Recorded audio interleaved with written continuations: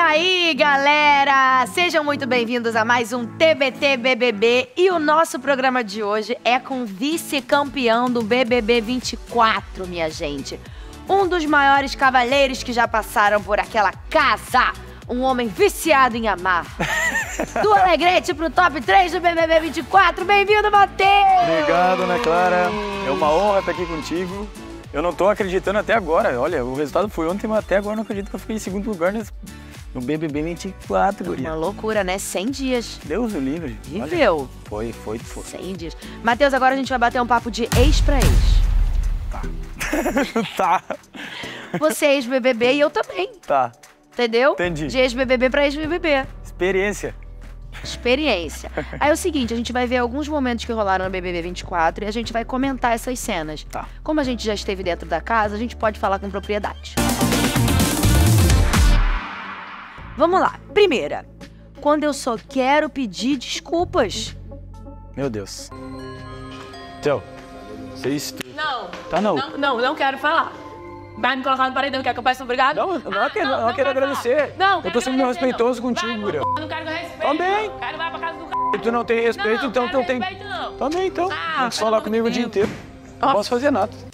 Meu Deus do céu. Era só um pedido de desculpa, tadinho do menino. E ferveu o troço. Tu viu? Mas acho que o pessoal no início não se acostumava muito com desculpa, né? É, eu acredito que assim, eu confesso que ficava, depois que eu, com o tempo eu fui vendo que ficava um pouco contraditório da minha, da minha, Parte. da minha parte de dizer, pe- pedir desculpa e estar colocando a pessoa no paredão. Só que ao mesmo tempo me doía, sabe? Não, não vou negar, eu não consigo esconder sentimentos. Aí eu ficava, digo, pá, eu tô, tô lidando com o sonho da pessoa aqui, tô colocando o paredão, ela pode sair e acabar com isso agora, mas... E ficava aquela coisa, sabe? Peço desculpa, ou fico frio e me come aquele, aquilo por dentro, assim, sabe? Eu digo, meu Deus. E aí foi, foi que eu tive que aprender, aprender a lidar na marra. Digo, não, ou eu tomo essas decisões e sigo no jogo, ou sigo pedindo desculpa e falando que nem um louquinho aqui e vou embora. E aí, É, eu acho que mais pro final você começou a entender melhor, né? Sim. Ai, vai dar uma. dá, dá uma angústia. É ruim, né? A gente tem que fazer, tem que falar, tem que, tem que falar no jogo da Discord, no, no, no Sincerão agora, né? Que fala, tem que falar no Sincerão, tem que votar, tem que fazer, mas Dói.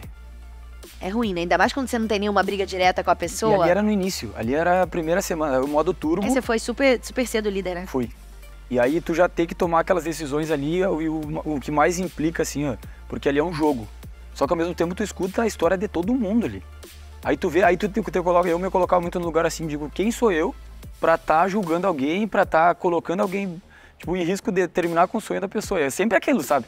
De colocar a cabeça no travesseiro, eu digo, eu sou um, uma pessoa ruim, sabe? E aí ficava. Só que eu, com o passar do tempo eu fui vendo que eu também ia sofrer aquilo.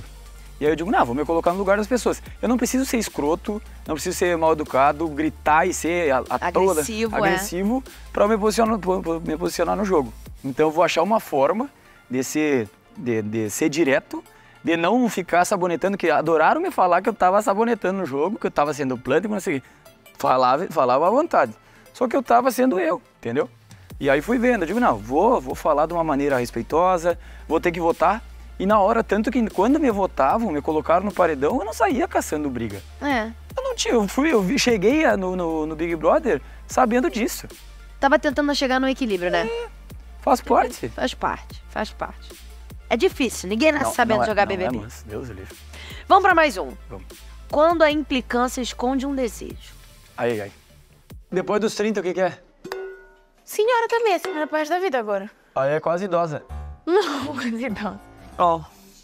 Ah, meu mano. Ah, que a carapuça serviu. Querida, eu tenho 31 anos. A carapuça não serviu porque eu não sou uma ideia. Eu pareço ser muito mais jovem que você, inclusive. Quem? Eu. Perguntou. Eu não preciso ser perguntada pra falar, tenho boca pra falar.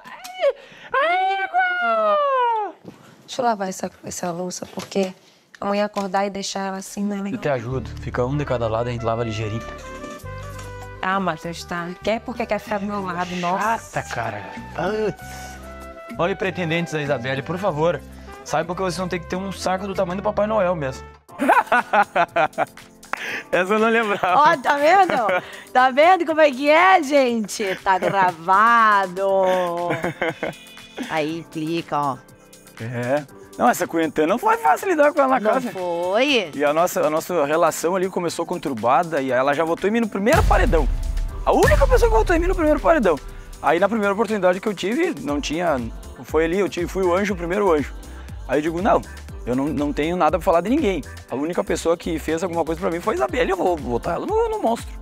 E aí eu digo, não, vou colocar ela no monstro. E aí começou. Aí começa a virar aquela bola de neve, porque aí tu começa a dar argumento pras outras pessoas. Tem jeito, né? Só que aí a gente começou a dançar. E aí que o troço embolou mesmo. Aí, É, quando aí vocês começaram a dançar nas festas. Mas eu achava tão engraçado. Chegou um momento que vocês já estavam flertando ali, né? Enfim, jogando uma gracinha pro outro, mas era sempre assim. Ah, não sei o que. mas eu voto em você, hein? É. E, mas eu voto em você. Eu falava, gente, que maluquice é essa? Você pode ter certeza que, que um votava no outro, né? Tudo bem, tudo Não, bem. é o bom de deixar claro, mas que não era certa coisa, era. É, maluquice. Era Deu maluquice. tudo certo no final. Graças a Deus. Deu tudo certo. Vamos ver o que, que falaram de Matheus nas redes sociais. Ai, ai, ai. Ai, ai, ai, vamos ver. Ai, meu Deus. O Alegrete beijou mais gente em três meses confinado do que a gente aqui fora. E livre. É. E, do que quem tava trabalhando no BBB, eu tenho certeza. Isso daí, tranquilo. É, 100 dias é muito tempo, né, Matheus? dias É peso de tempo. Olha. Meu Deus, 100 dias o que é muito O tempo. que a gente viveu dentro daquela casa lá. Uma loucura. Só né? quem tá lá. Tu sabe como Só é que quem é. tá lá. Não é Só mansa- quem tá lá. Não é mansa coisa. Dá licença, viu? Mais um. Agora imagina o filho de Matheus e Isabelle metendo um égua da luta, tchê. Olha já, guria. O sotaque norte-sul. É, vai ser difícil, né? Misturou tudo. Vai ser uma, uma mistura mesmo de Brasil com Egito. Não, é. De Manaus com Alegrete. É diferenciado. Não me lembro quem é que falou. Acho que falaram pra nós. Acho que não sei se foi o Rodriguinho. Que esse negócio de, dela, tá- dela ser do norte e do sul é mais fácil a gente viajar pra Europa. Acho que é até mais Sim, barato do que atravessar, é. atravessar o país. É, Vamos ter que achar o meio termo aí se é, tiver. né? Vai pelo seguir. outro lado. É. Chega num pedaço da Europa ali. É, não, é longe, Deus livre. Vai ter que ir todo mundo pro centro. É. É, vamos ter que ver qu- quais serão as cenas dos próximos Vai dar capítulos. tudo certo. Vai dar tudo certo. De norte a sul do país. De norte a sul. Norte a sul. E eu tava com medo agora, tu, pontou de norte a sul, eu tava com medo naquele paredão ali de, de ir embora, que só eu sei. Qual? Aquele último ali, O último? duas gurias do norte, eu digo, tá, me ferrei, né? Duas do norte e um do sul, me ferrei. Me ferrei. E o Tadeu começou embora. falando bem de mim, eu já tava pegando minha mochilinha e entrando no cabelo. Tchau pra Tranquilo. Tadeu. Deu certo, viu? Deu certo. É. Matheus, nosso TBT BBB está chegando ao fim. Parabéns pela sua Muito obrigado. trajetória, sucesso. Amém. Dá um beijo na sua avó, que ela é muito fofa, na sua família. Colha os frutos do que você plantou no BBB. Amei. Tenho certeza que você vai fazer coisas grandes daqui pra frente. Muito obrigado, Ana Clara. Muito obrigado novamente. Eu tô num sentimento assim, angustiante de estar me despedindo de tudo isso aqui. Eu confesso que eu tava lá dentro com a minha cabeça já explodindo, já n- naquela coisa de, ai, não aguento mais, mas eu, tá chegando a hora. Mas ao mesmo tempo foi algo assim, ó, que eu jamais vou, vou viver novamente, sabe? Dava saudade, né? A, a minha despedida na casa já foi muito forte, de estar olhando para cada cantinho, que, que foi muito importante e tudo, sabe? Tudo foi muito marcante mesmo. E aí chegar hoje aqui e ver todo mundo de novo e, e tudo que a gente viveu, as provas, reviver, olha, não foi fácil chegar até aqui, mas valeu muito a pena.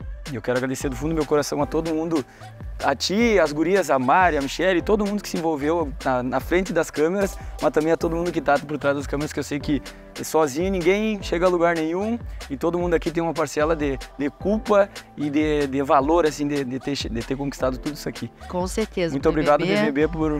é, agora eu tô vivendo assim, ó, é, eu tô sem dormir desde que deu o resultado.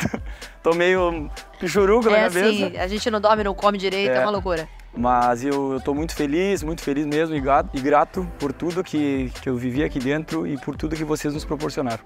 Que bom, Deus abençoe Matheus. todos vocês. Amém. BBB é feito a muitas mãos mesmo. E as mãos de quem tá assistindo a gente também. Muito obrigado vocês aí pela audiência.